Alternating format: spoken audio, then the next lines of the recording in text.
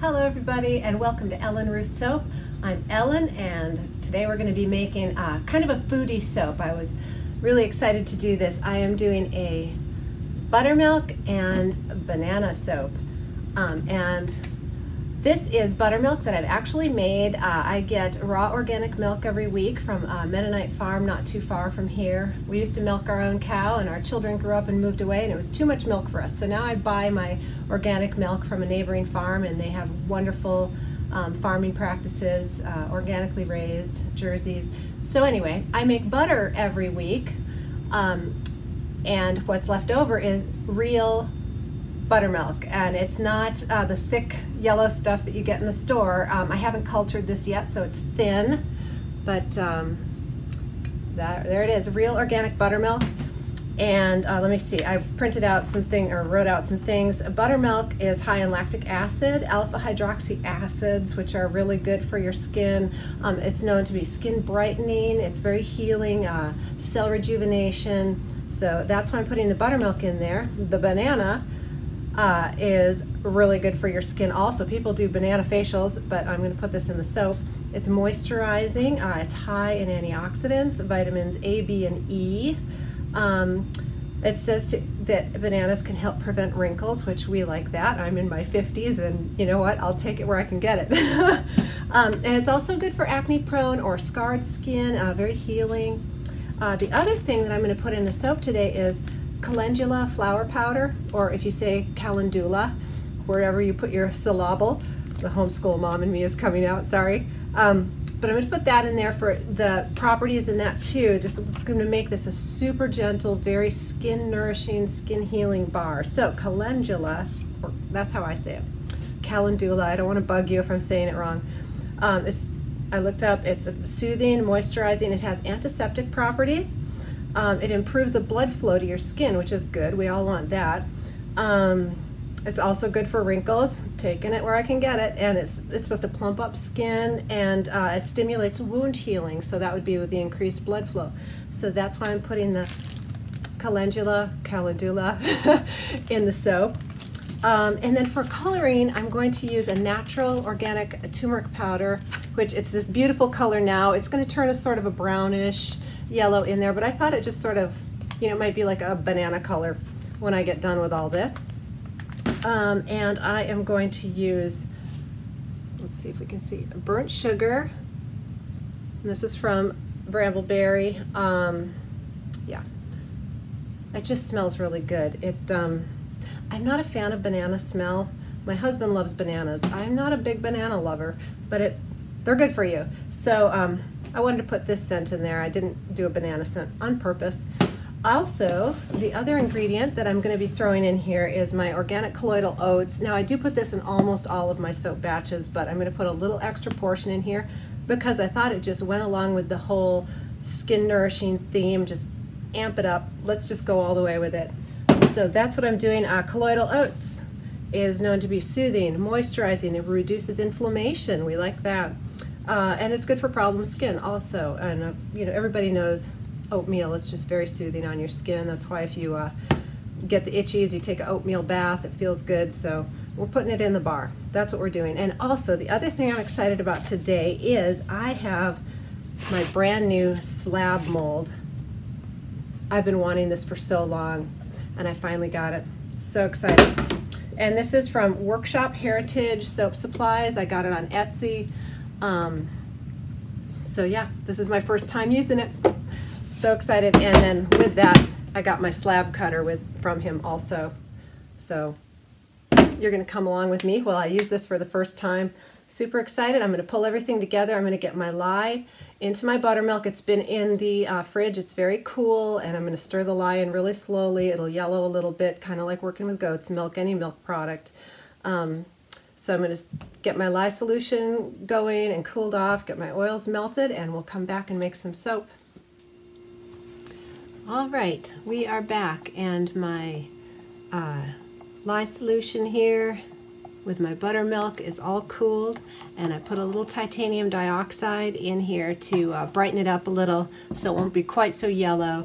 I've got my oils here all melted and cooled and what I'm going to do now, I poured off just a little bit of oil I'm going to go ahead and put my banana in now. I wanted to wait till the last minute because I didn't want it to get all oxidized and brown and funky. So I'm going to mash my banana in this little bit of oil and then I'm going to add it back in at trace.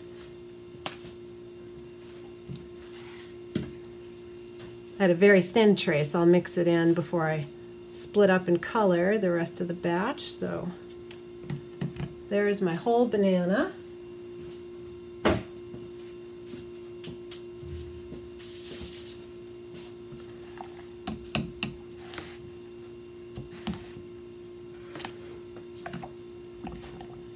Take my stick blender here and mash it up. Pardon the noise.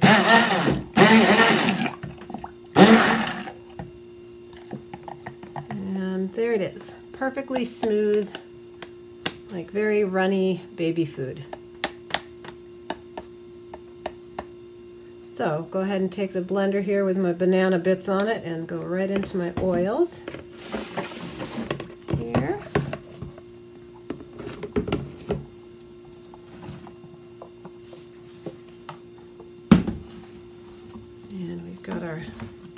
Buttermilk lye solution with my Tussa silk fibers and titanium dioxide.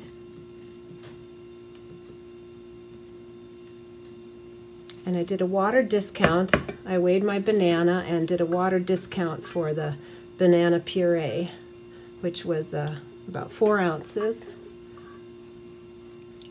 Well, liquid discount. This isn't water, it's buttermilk, my fresh raw buttermilk.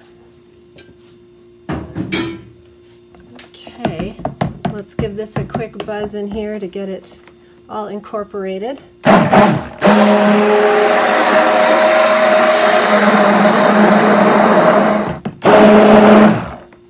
Okay. And just safe, I'm going to use my whisk here until I get everything, all my additives and things in. Actually, no, I need to add my powdered additives. I should have put these in earlier, but in here I have colloidal oats, kaolin clay, and my calendula or calendula powder in here. We'll go ahead and blend that in.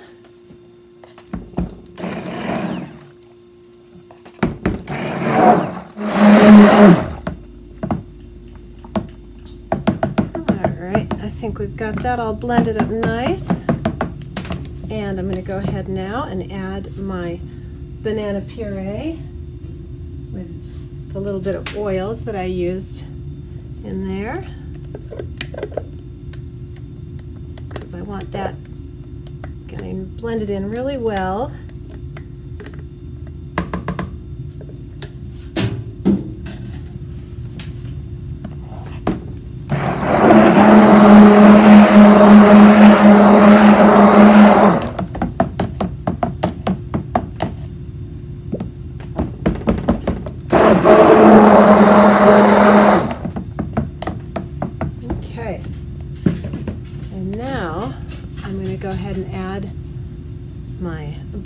Sugar scent, which is such, oh, it's a beautiful scent. It does have a little vanilla in it, vanilla content, so it will um,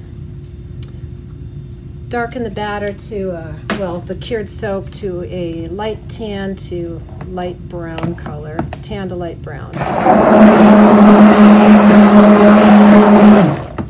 But to me, oh, it's just a really good smell, and I think it kind of goes to the banana oat sort of feel. I think it's going to be wonderful. All right, I'm going to go ahead and pull the stick blender out now and go to my whisk for um, incorporating my turmeric powder to um, color a portion of this batter. Sorry, I'm making little splashes here. Let me get these cleaned up.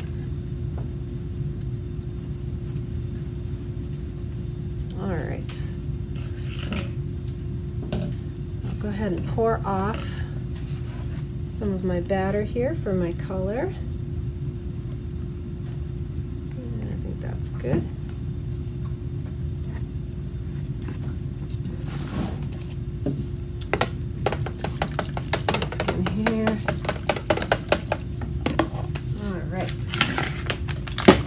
my organic turmeric powder I don't want this to be super dominant color, so I'm just maybe gonna do a nice heaping teaspoon there and stir it around and see what we get. I wish it stayed this bright of an orange. It would be so beautiful, but it doesn't. It goes to brown, but it's a nice earthy sort of orangey brown. So, I mean, I like it very much. And you know, turmeric has um, really good health benefits internally and externally as well. Um, it's just a great additive, so I think that's good. We're not going to go too dark on the color. I'm going to take my whisk and blend it in a little bit stronger here.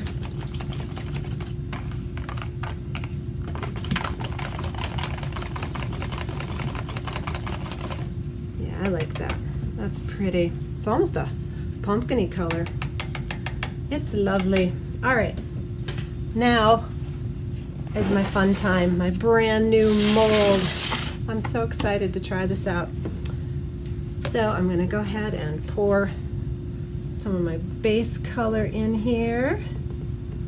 Got a nice layer of that down.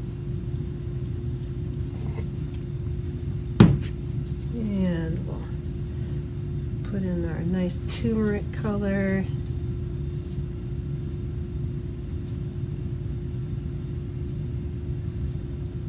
All right. And come back in with the base.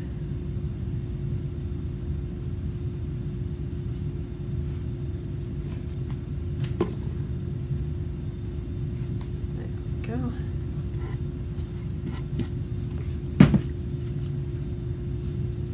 I'm going to try and pour from up high, get it to go down a little bit.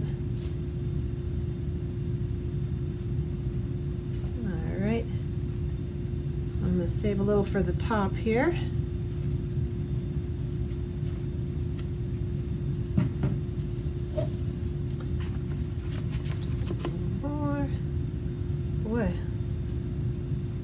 I did the math on this mold. I got it pretty full. It's good. I think it's going to fit in there well.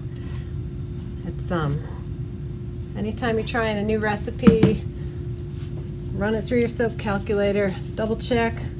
Better to be safe than sorry.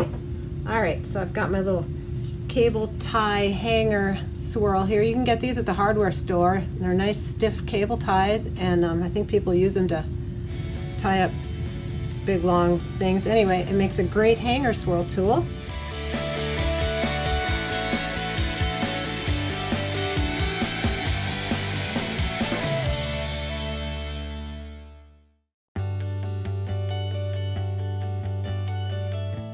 Got my lines here, so we'll go ahead and try to make a little stripe down for each bar. This is my first time doing tall, skinny soaps. So I'm excited. I got my label designed for them.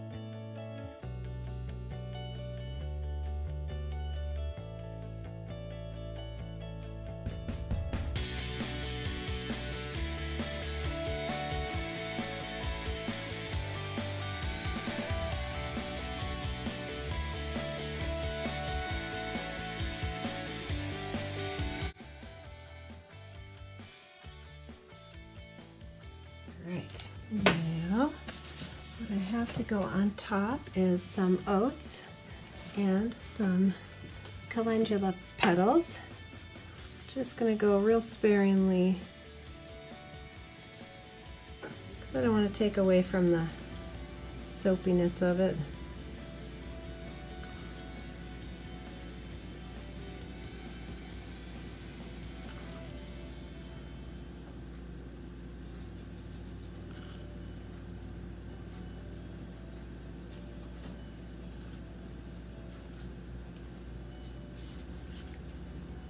Sure every bar gets just a little.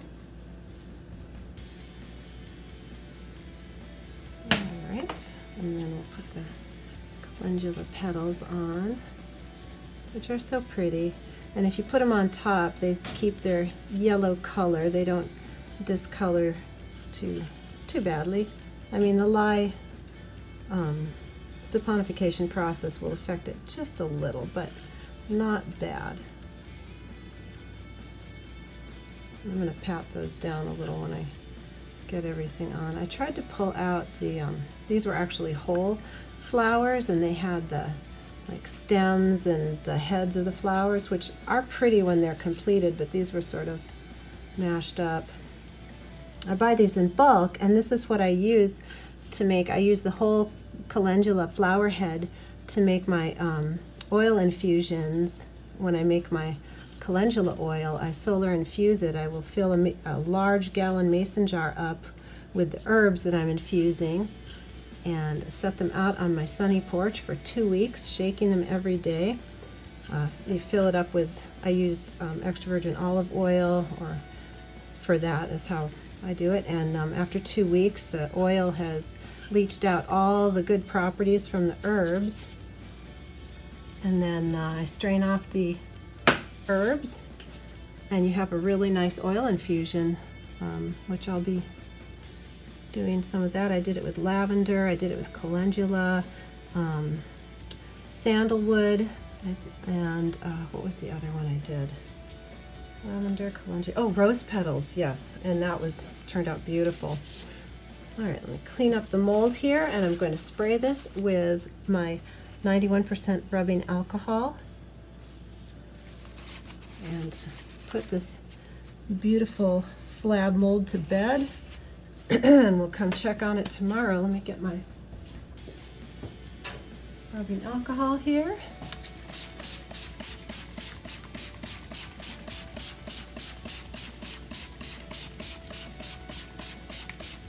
There we go. And there is our calendula, banana, buttermilk, turmeric.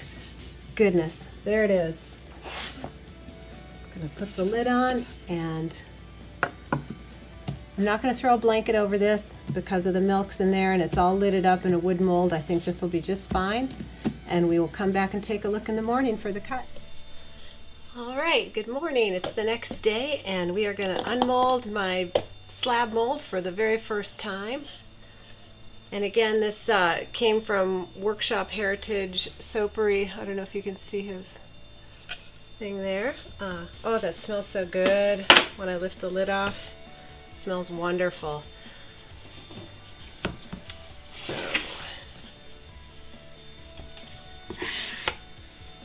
bottom out.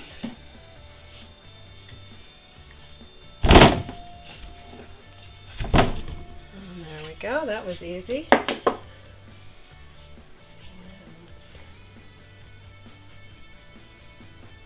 this away. Boy, it's nice. Very flexible and easy.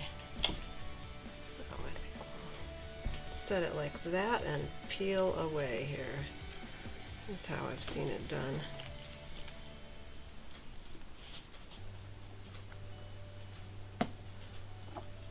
Think. Yep. Guess that's how we do it. Oh, that's nice.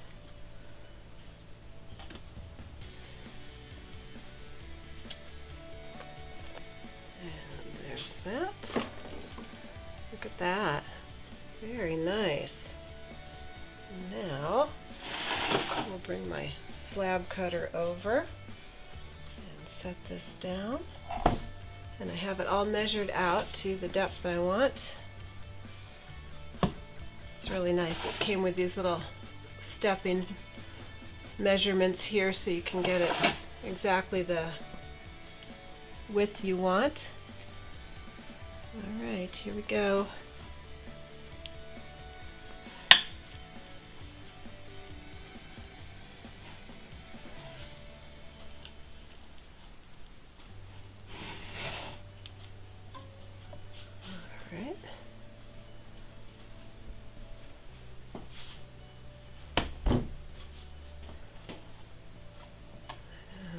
One of our buttermilk banana.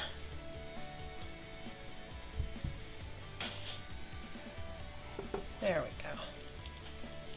A little bit of a learning curve, but we got it.